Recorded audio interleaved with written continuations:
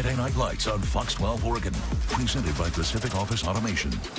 November football, the ones to be remembered. Week 10, a select few make it all the way through that regular season gauntlet into these playoffs now. The first round postseason edition of Fox 12's Friday Night Lights. Our big game, really all of them on this night. Our first four come from the first year of the new Oregon 6A Open bracket. The top 12 teams, four earning first round byes. Ninth seeded Tualatin, the Timberwolves lost three of them. Three Rivers League's brethren there, Lake Oswego, Lake Ridge, and West Linn. We turn to Fox 12's Craig Burnback in Beaverton, home to the first time Metro League champs from Mountainside High. The Mavericks out with their big game and the eighth-seeded team there along Scholls Ferry. Nick, to call this game wild is an understatement as Tualatin and Mountainside totaled 83 points. And the game came down to one final play that anybody that was here will not soon forget. Boy, did Tualatin and Mountainside put on one heck of a show. First up, how about Sam Villadal starting us off? He's going to break some hearts, break some tackles, break off a 43-yard touchdown run, and it's 7 to nothing home team. But BYU bound Nolan Keeney's going to come right back with the keeper. He's going to zip on in from 25 yards out to make it a 7-6 ball game. You want some passing? Well, Cade Mitchell has some passing for you. The picture perfect pass to Kellen Hicks, and it was 14 to 13 Mountainside. But then Keeney's going to come up with what might be the play of the year. He's going to scramble one way, he's to scramble the other way, and then somehow, some way, uncorks a 50-yard strike to Kalen Simonolik. But oh my goodness, it's a touchdown, and it's a 27 to 23 Tualatin halftime lead. Second half, how about some more Sam Villadal? He's to get on into the end zone, and Mountainside was down just 37 to 33. But then we have a real game changer. On the ensuing kickoff, that's a fumble, and that's a Mustangs recovery. Very next play, you guessed it, it's Villadal from the nine. He's in, and Mountainside, they got the lead, 39-37. But not for long. Here come the T-Wolves, and here comes Cole Hackmeister. He's gonna get, get, get, get, get, get, get, get gone. That's 81 yards to the house, and Tualatin's back up, 39-37. Oh, but the Mustangs, we're not done. It's fourth and one. Here comes the run, right? Wrong. Cade Mitchell throws it up to a wide open Villadal. He's buck naked and scoring. Mountainside's up, 44-39 late. Last play of the game, and Illy's going to look to come up with some magic for Tualatin. He gets open. He's in the open field, but then he throws it across the field. And Tualatin thinks they might just have a miracle victory. But no, that is an illegal forward pass, and that's the ball game. Mountainside wins it 44-39. What was that game like to play in? Oh, it was amazing. I mean, we came out here with an expectation. We knew we had to get done, and we did it. It was amazing playing with these guys. I mean, I couldn't have done it without them. It was a whole team effort. I mean, from the O-line to the defense to the quarterbacks to the running backs, we were just all able to get it done, and it was amazing playing with these guys. Sam Villadal finished with five total touchdowns, and Mountainside needed each and every one of them. They'll bring their high-flying offense next week to Lake Oswego. From Mountainside, I'm Craig Burnback, Friday Night Lights. Holy cow. So next Friday, Mavs pony up to Cobb Field at Lake Oswego High School. Top-seeded unbeaten Lakers await now in the 6A open bracket quarters. MHS lost to only Silverton and Lakeridge this season. For the defending 6A champs from Central Catholic, stacking wins again. Fifth-seeded Rams 9-0, only LO and Sheldon perfect. CCHS home away from home at Hillsboro Stadium against another Portland team. Back-to-back -back PIL champs, the B. Wells Guardians, who went 7-2. Early stop from the Wells defense meant Central Catholic had to settle for a field goal. Mario Martinez Ibarra puts it through the uprights. Central Catholic, that field goal up 3-0. But then, boy, devastation here for the Guardians. They would fumble it on the first play of their drive. Donnie Vercher comes up with it, gives the Rams ball deep in Wells' territory. They would capitalize. They do that. All great teams do. Ty Newberry strolls in to pick them up. 10-0. A few plays later, deja vu again. Another Guardian turnover, this time interception. Cole Thomas. Now, a would-be pick six called back due to a penalty to give the Rams possession again. Scarlet and roll gold rolled right on through. Robbie Long, Landon Kelsey, easy grab. Southern Catholic keeps racking them on up. Fight, though, not over for the Guardians. Wyatt Andler, what a big play. He's had all his career to turn that program around there. Tiptoe on the sidelines, push out of bounds around the 30. But Central Catholic, a huge stop on the one, keep them out of the end zone, and they would win on the night. 38-14. Congrats to a fantastic campaign for the kids from Wells. But it is CCHS that seeks a back-to-back now state crown. It's on to round two, quarterfinal play in the new 6A open play. Rams at fourth-seeded Lakeridge. The Pacers picked up a bye after going 7 and 2 and placing third in that Three Rivers League. Got a pair of 7 and 2 teams mixing it up in Sherwood. 10th-seeded Nelson finished second in the Mount Hood Conference, earning the Happy Valley Hawks a flight path.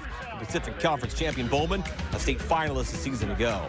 Opening quarter, Opening score, Sherwood's Wilson Medina, the captain, that C on his chest, making moves when it matters the most. That's a playoff beast. Medina feasts for 43. But the Hawks have the reply. Corbin Crossland can Chris and Cross with the best of them. Hand over some breakfast treats for that O-line, too, in the film room. An open hole from 45. Game tied at 7. Second quarter for the visiting Whites. They're icy white. Nelson pulling into the lead. Danny Leary in at quarterback for Avery Durdal. Call works. Out pass. Noah Boria in front of my guy, Kevin Lund.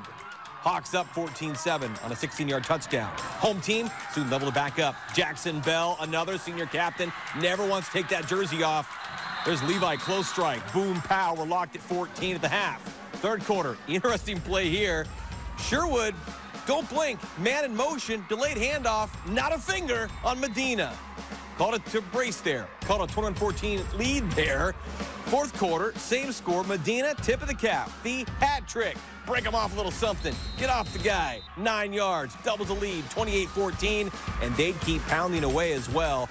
Bell in his quiver once more. This time, Michael Brandt targeted all alone. 64-yard touchdown. Sherwood slams the door. 42-21.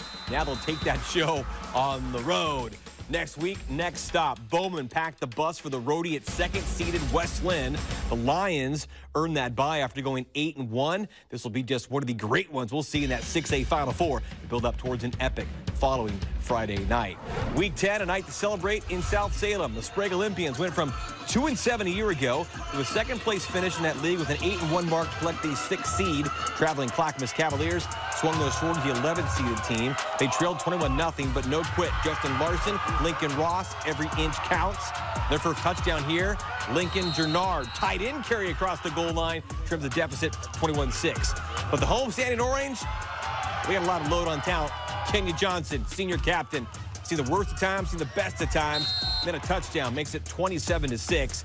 And their quarterback for the Olies, Ducati Witherspoon, 6'4, 210, senior superstar to Johnson, first down. And then that capper between those two buddies there, Spoonman and Kenya handoff and get a payday yet again for the Orange Lids, 34 to 6 at that point. Now, Clackamas' Luke Baker, a wonderful career, grabbing another score before the night would be said and done here, but then Johnson adds another here. 41-12 in favor of the Olies, who roll on now to round two. They'll see them take a trip south to Eugene.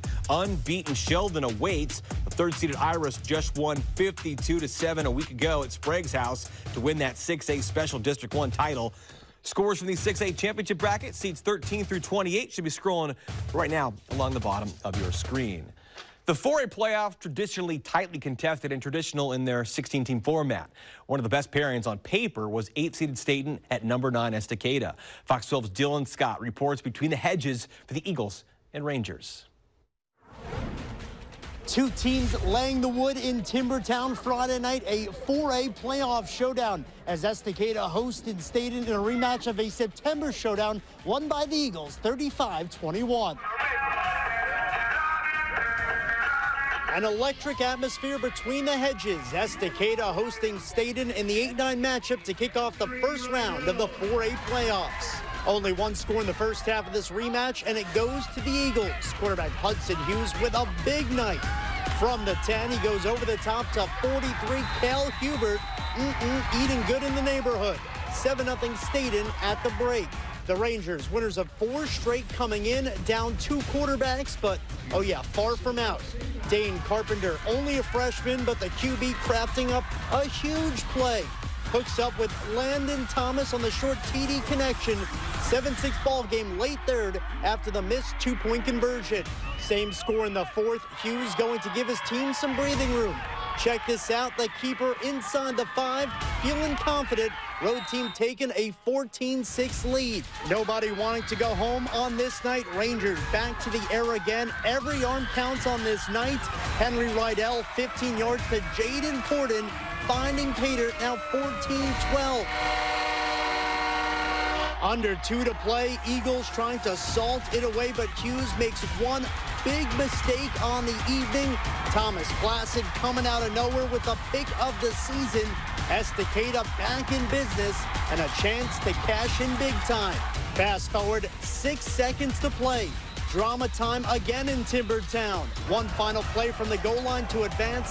Hand off to Blake Barger, but Stayton's defense going to send the Rangers, yes, on a staycation. Check out the effort.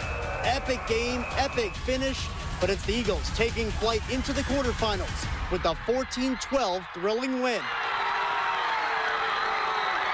We're just talking about how we got to give it our all, put our whole heart into this, because if we don't, it's over. But everyone was in it. We were in it to win it, and we all worked hard on the goal line and made a stand. A big thing is believe. Believe in ourselves, believe in coaches, believe in our fans. Just believe. That's the big thing. Tomorrow, we got to get on the film, see what, see what we play, scout them out. It's 24 hours, we got to flush it. It's on to the next one.